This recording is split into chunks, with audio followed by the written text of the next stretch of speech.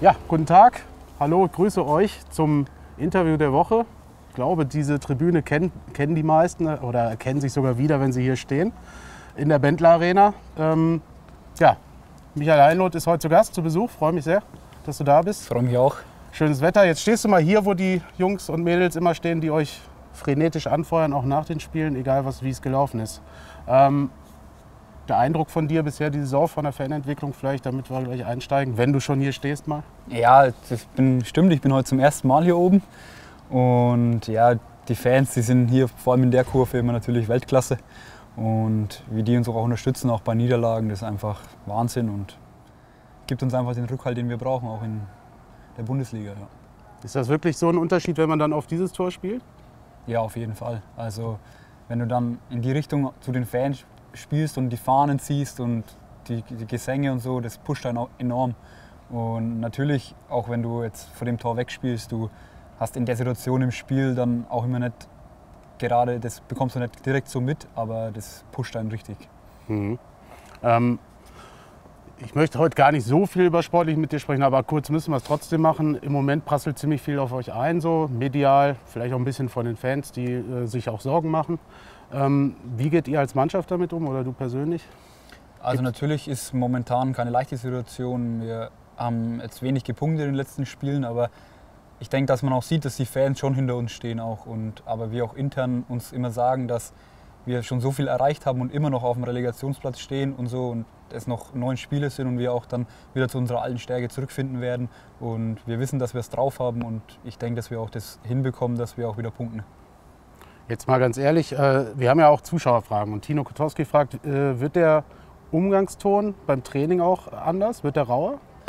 Ja, jetzt rauer vielleicht nicht direkt, aber man versucht natürlich auch mal Sachen zu ändern. Wenn es mal auch gerade nicht so läuft, dann gibt ist vielleicht das Training auch mal ein bisschen härter oder man macht mal Dinge anders, die man sonst auch mal gleich macht und da verändern sich schon ein paar Dinge und so. Aber man ist natürlich auch weiterhin zueinander freundlich und respektvoll, aber im Training kann es natürlich auch mal im Zweikampf auch mal scheppern. Das gehört einfach dazu. Aber es ist nicht so, dass irgendwie wir respektlos oder so gegenüber uns sind. Und der Trainer ist auch nicht merklich schlechter gelaunt oder so als vorher? Nein, na, es ist so, dass er weiterhin halt die Richtlinien auch vorgibt und so und natürlich auch mal dann klare Worte findet, was man aber auch vielleicht in dieser Situation ganz klar braucht mal und das passt. Ähm, du spielst jetzt Bundesliga. Vor circa zwei Jahren hast du noch in der vierten Liga gespielt, in der Regionalliga. Äh, kannst du das selber manchmal überhaupt begreifen, wie schnell das ging? Also in Nürnberg hat es ja angeblich nicht gereicht. Ja, ja, Und nee. dann hast du erst zweite Liga gespielt, da haben sie schon gesagt, oh wow. Und Ja. jetzt erste Liga. Ja, also dieser Sprung habe ich vor allem halt gemerkt, dann direkt auch im, im Probetraining und dann auch in die ersten Monate, dass es halt schon ein Wahnsinnssprung ist von der Regionalliga dann auch in die zweite Bundesliga. Und ich denke aber, ich habe mich in den zwei Jahren gut entwickelt und denke, dass es ein guter Weg war, den ich gegangen bin. Und man hat auch gesehen, dass ich in der zweiten Liga schon gut mitkicken kann und jetzt in der Bundesliga denke ich auch. Und die Entwicklung ist einfach da und das passt auch. Ist das auch eine Typfrage? Also Trainer hat gesagt, dass, oder auch Michael Born, äh, dass du halt das Herz am richtigen Fleck hast und diese positive Einstellung halt hast. Und das halt die Grundvoraussetzung einfach auch überhaupt ja. ist, um so weit zu kommen.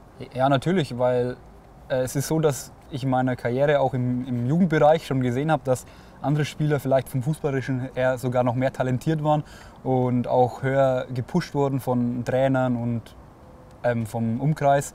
Aber ich denke, wenn man immer Vollgas gibt im Training, nicht langsam macht, sondern immer 100% gibt, auch in den Spielen und so, dann kann man auch vielleicht gleiche, gleiche fußballerische Defizite ein bisschen wegmachen.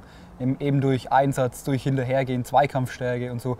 Und da denke ich, sehe ich absolut meine Stärken und dadurch kann man eben auch einige Sachen ausgleichen und das mache ich, glaube ich, ganz ordentlich. Mhm. Wie bi- bist du da im Vergleich zum Privaten? Bist du da auch so ein Typ, der sehr ehrgeizig ist und äh, immer das Bestmögliche, Höchstmögliche erreichen will? Oder lässt du dich da dann eher mal so fallen aufs Sofa und Beine hoch? Äh, es kommt immer drauf an. Also es gibt Situationen, da bin ich absolut dankbar, wenn ich einfach mich mal nur hinlegen kann und nichts machen kann, einfach mal abschalten. Und ich denke, das ist es auch, was es ausmacht, wenn man mal den Ausgleich zum Fußball hat, wo man echt immer 100% da sein muss, jede Situation da sein muss und immer konzentriert sein muss, ist es einfach wichtig, dass man auch vielleicht mhm. mal abschaltet. Jetzt, heute früh auch, der Trainer hat uns heute Nachmittag freigegeben und hat mal gesagt, wir sollen mal runterkommen, mal ein Eis essen gehen und so. Das ist, denke ich, absolut wichtig. Und, aber wenn dann natürlich auch im privaten Bereich irgendwas ist, was ich halt unbedingt will, dann will ich das natürlich auch erreichen. Also es ist nicht so, dass ich dann sage, ja okay, wenn es klappt, dann klappt es nicht. Wenn es nicht klappt, klappt es nicht. Sondern wenn irgendwas ist, dann will ich das auch. Aber ich habe nichts dagegen, auch einfach mal mich hinzulegen und ja. Mhm. Dein Kollege Patrick Ziegler hatten wir ja vor ein paar Wochen hier. Der hat gesagt, er kann auch mal, also der ist da sehr äh, strikt, was zu Hause angeht, auch mit Sauberkeit und so weiter und so fort. Ähm, was ist er für ein Typ für dich? Also du hast ihn beim SCP kennengelernt, ihr seid, ist ja ein offenes Geheimnis, ja. recht gut befreundet miteinander. Ja, ja. Ähm, wie wichtig ist er für dich auch hier als Bezugsperson? Auch vielleicht zum Abschalten privat mal außerhalb des Fußballs und wie, was ist er für ein Typ? Nein, also er ist ein super Typ. Also er ist außerhalb vom Platz immer ein bisschen ruhiger und so und fährt mal runter. Das, das finde ich ganz super, weil er, wenn ich mal sage, ich bin vielleicht auch mal ein bisschen überdrehen irgendwo, keine Ahnung, weil ich es dann vielleicht zu sehr will und so, dann kommt er auch mal, er sagt mal, mach mal ein bisschen ruhiger oder so, und, aber halt jetzt nicht irgendwie im bösen Sinne oder so, sondern es passt einfach gut. Ja. Die Mentalität ist ähnlich, auch er mit Riesenherz, wo er einfach kämpft und alles macht dafür. Und ich denke, da passen wir einfach äh, richtig gut zusammen und auch neben dem Platz halt, dass wir einfach äh, Zeit zusammen verbringen und auch über Probleme sprechen, die wo jetzt nicht direkt was mit Fußball zu tun mhm. haben, sondern wenn irgendwo mal was ist, außerhalb vom Platz mit der Freundin oder so, dann bequatsche ich das auch mal mit ihm, klar, weil er, er mittlerweile so ein guter Kumpel von mir ist, dass ich über private Dinge auch mit ihm super drüber reden kann. Ja. Hätte ich gar nicht gedacht, dass ihr euch auch mit euren Frauen streitet. Bist du also der hibbligere Typ da in der Kombi? Ein bisschen, ja, ja, ein bisschen. Also ist immer, wie soll ich das jetzt sagen, so immer nach dem Training Patrick braucht ein bisschen länger, ist, ist, ja überhaupt nicht schlimm, sondern einfach. Hat er uns erzählt, im, im Bad auch. Ne? Genau, ne? ja, genau. immer ein bisschen Creme noch und das ja, der braucht immer ein bisschen länger. Dann warte ich manchmal ein bisschen auf ihn und so, weil, obwohl ich eigentlich auch nichts vorhab danach, eigentlich nach dem Training, aber trotzdem bin ich immer irgendwie beim Duschen schneller, beim Anziehen ein bisschen schneller. Mhm. Aber, aber, so ist es halt einfach und das macht's aus. Ja, jetzt habe ich ihm äh, die Woche einmal den Arsch gerettet, weil sonst hätte er verschlafen. So ist er halt dann auch, weil er schläft immer ein bisschen gern länger. Ja. und dann war schon recht spät und wir mussten los und dann habe ich doch mal lieber geklingelt oben, weil wir fahren ja auch zusammen zum Training. Ach so. Ja, und das Aber er wohnt noch nicht im gleichen Haus. Nein, nein, Gut. wir sind Nachbarn. Alles klar. Ähm, wie ist das eigentlich? Ähm, du wirst ja Heini genannt. Ja. Passt dir das eigentlich? Das ist auch äh, eine Zuschauerfrage. Ähm, ist ja eigentlich ein negativ besetzter äh, Ausdruck, aber bei dir ist es halt die Abkürzung für einen Nachnamen. Ja, nee, also das ist damals entstanden in der, meiner Realschulzeit und da haben die das irgendwie abgeleitet halt aus meinem Nachnamen und am Anfang war es dann schon immer irgendwie ins Lächerliche auch wenn gezogen und so, aber mittlerweile bezieht da keiner, interpretiert da keiner mehr irgendwie was anderes mit rein, sondern das ist einfach der Heini und Punkt. Und das, mhm. ob, ob das jemand jetzt, keine Ahnung, jeder sagt mal irgendwas anderes, sagt dann mal Heinrich oder, oder Hein Lotti oder irgend sowas. Also die, die ja. überlegen sich da schon schöne Sachen. Aber ich denke, ins Lächerliche wird da nichts gezogen und mich stört es auch überhaupt nicht und so. Und ich, ich finde es toll, einen Spitznamen zu haben. Mhm. Also ich habe da überhaupt nichts dagegen. Äh, Carola Noack ist äh, auch eine Fanfrage. Die hat äh, da weiterführend dann gefragt, ähm, ob euch das eigentlich stört, wenn Fans oder halt wer auch immer euch gerade kennengelernt hat, euch am Trainingsplatz dann gleich duzen. Ist das so ein Ding, wo man als Spieler denkt, hm, kenne ich überhaupt nicht? Oder ist das mhm. gerade eigentlich eine, eine, tolle Sache, wenn man so nah dran ist? Dann? Nee, ich, ich finde es super, weil es ist immer so, wenn du zum Training kommst und dann sagen die Fans dann so, was ich immer ein bisschen sage, dass ich es nicht so toll finde, wenn einer sagt, Heinlot unterschreiben mal oder so. So einfach sondern ich will, könntest du bitte unterschreiben mhm. und so, das finde ich top. top. Ja. Auch wenn einer sagt, oder Michi, erst mal kurz Zeit, mach mal ein Foto und so, sehr gern, das ist top. Und weil Herr Heinloth, das ist dann schon wieder ein bisschen, äh, finde find ich, weil es ist ja, ja genau, wir sind auch Menschen wie jeder andere und deswegen äh, finde ich das top, wenn die dann nach dem Training da auf uns warten und dann uns ansprechen, du hast mal kurz Zeit, machen wir ein Foto und mhm. so. Und das finde ich auch, macht es auch eben hier in dem Verein gerade ein bisschen aus, dass wir einfach die Mannschaft und die Fans so, so eng zusammen sind. Und ich denke, das ist eine Klasse und das gibt es auch nicht in jedem Verein. Und das macht es einfach aus. Äh, Paderborn als Stadt, fühlst du dich wohl? Ist ja, das absolut. Ich kann einfach, ich bin hierher gekommen, habe erst mal drei Wochen im Hotel gelebt, bis ich dann eine Wohnung gefunden hatte.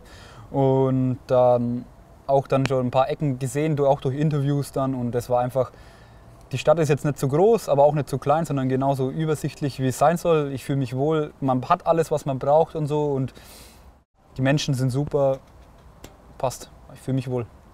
Ich würde gerne einen kleinen Paderborn-Test mit dir machen. oh Hilfe, wie kann ich da abschneiden? Ach, eigentlich kann das nur lustig werden. okay, ja. Kannst mir drei Sehenswürdigkeiten nennen oder wo du einfach sagst, das sind drei Punkte in Paderborn, Ja. die muss man gesehen haben, wenn man hier hinkommt. Ja, also ich muss zugeben, ich war sogar schon im Dom. Ja, da war, Löblich. ja, ja, da waren äh, meine Großeltern zu Besuch und die wollten das dann sehen. Und dann habe ich gesagt, klar, gehe ich mit. Dann waren wir im Dom, ja, kann man sich auf jeden Fall mal anschauen. Ist ja auch äh, eine sehr christliche Stadt, deswegen sollte man sich den Dom auf jeden Fall mal anschauen, wenn man hier ist und so. Also die Innenstadt ist Weltklasse, finde ich. Da geht direkt da ums Rathaus mit den Cafés und so, da wo wir auch den Aufstieg gefeiert haben. Das ist einfach ein super Eck auch. Und ja, und wenn man mal vielleicht, wo wir auch immer zum Laufen gehen, vielleicht an den Fischteichen, da kann man super spazieren, Ja. wie Patrick, wenn er mit seinem Hund rausgeht. also ich denke, man hat alles. Man ist von der Stadt halt auch recht, recht schnell außen, wo man auch mal wegen das Ländliche hat und so, weil ich komme ja auch direkt vom Land eigentlich und so. Und das ist einfach, was mir dann auch gut tut, dass ich einfach mal nicht direkt in der Stadt bin, sondern auch mal ein bisschen außerhalb mich Jetzt, bewegen kann. jetzt suchen sie den Patrick mit dem Hund an Fischteich. Na, dass Ähm, einer absäuft. Wer ist der Bürgermeister? Weißt du das? Das ist der Herr Dreier. Ja, richtig. Ähm, jetzt kommt's. Nenne ein aktuelles Theaterstück, was im Theater Paderborn läuft. Boah, jetzt pass auf, weil ich saß im Bobberts erst beim Essen und da blenden sie das so schön ein. Vor dem Ding. Aber mir fällt es gerade nicht ein. Ich wollte eigentlich auch nur wissen, ob du so ein Typ bist, der auch mal kulturell irgendwie jetzt ins Theater geht oder keine Ahnung, oder was du halt dann machst, wo Also- du vorhin gesagt hast, zum Abschalten. Dann, Ja, ja, also so direkt jetzt Theater oder Oper eher weniger. Was mir sehr gut gefällt, sind Musicals. Schaue ich mir sehr gern an. War ich jetzt im Winter erst in König der Löwen. Und das war echt super. Sowas gefällt mir schon gut. Oder Gibt's hier leider nicht. nein, nein, ich war auch in London. Deswegen. Nicht schlecht. Und ja, und einfach auch mal ins Kino zu gehen und so, sowas ist das Übliche einfach. Aber so jetzt direkt Theater. Vielleicht muss man sich das einfach mal anschauen, um dann auch zu merken, ob einem das passt oder nicht. Mach mal, ist ganz gut. Okay. Bisschen Werbung. ähm, kennst du, wenn du im Dom warst, äh, kennst du einen großen Herrscher aus der Historie, der, nicht, der in Paderborn residiert hat? Ist schon ein paar hundert Jahre her. Nein, Du, leider Karl der nicht. Große hat die Okay. Kaiserpfalz. Äh, ja, ich würde sagen, du hast bei diesem Test also so zwei von zwei Sachen ungefähr Okay. beantwortet. Also ist alles gut. Okay.